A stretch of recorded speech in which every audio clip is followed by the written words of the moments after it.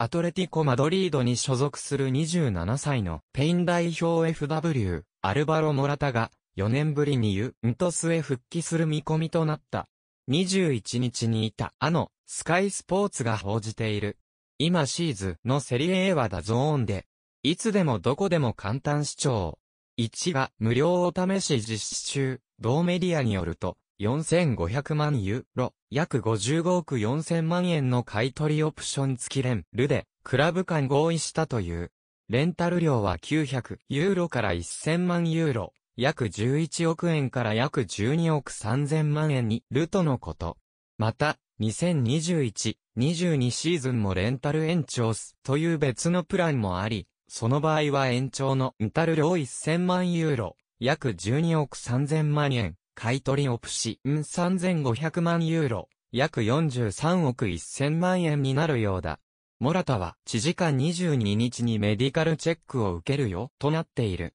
2014年から2016年までユベントスでプしていたモラタ。2016年7月にレアル・マドリーへ移籍した後、2017年7月にチェルシーへ完全移籍だ。2019年1月からアトレティコへレンタル移籍しの後に完全遺跡へ移行している。2019、20シーズンは、式戦44試合で16得点4アシストを記録していた。りょ